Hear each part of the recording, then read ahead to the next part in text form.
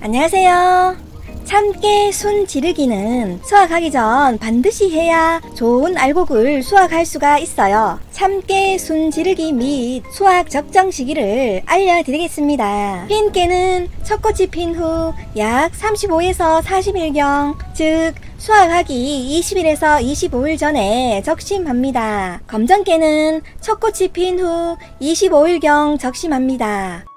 또는 원순이 고개를 숙일 때 잘라줍니다. 20에서 25마디 사이에 원순의 윗부분을 잘라줍니다. 참깨 재배 시 순지르기는 매우 중요합니다. 아래쪽 꽃두리가 익어가면서 위쪽으로 계속 꽃이 피기 때문에 위쪽으로 늦게 꽃이 피어 맺힌 꽃두리는 잘 여물지 못한 미숙립 상태로 수확하게 됩니다. 순 지르기를 하면 쪽정이 없이 좋은 알곡으로 수확할 수가 있어요.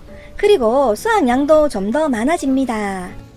함께 수확 시기는 남부지방 기준 4월 하순에서 5월 상순에 씨앗 직파 후 90일에서 120일 사이인 8월 상순에서 9월 상순경 수확합니다. 아래쪽 잎이 누렇게 변하고 아래쪽 꼬투리가 여물어 두세 개 정도 벌어졌을 때 수확합니다. 베어서 세네 단으로 묶어 세워 말리면서 세 번 정도 털어서 수확합니다. 시청해주셔서 감사합니다.